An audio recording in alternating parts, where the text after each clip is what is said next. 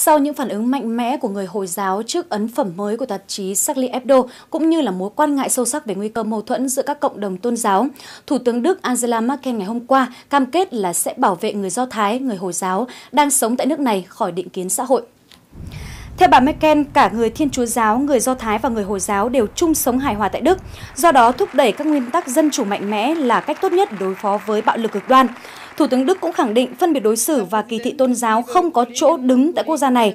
Nước Đức cấm mọi hành động kỳ thị, mọi nghi ngờ chung đối với người Hồi giáo.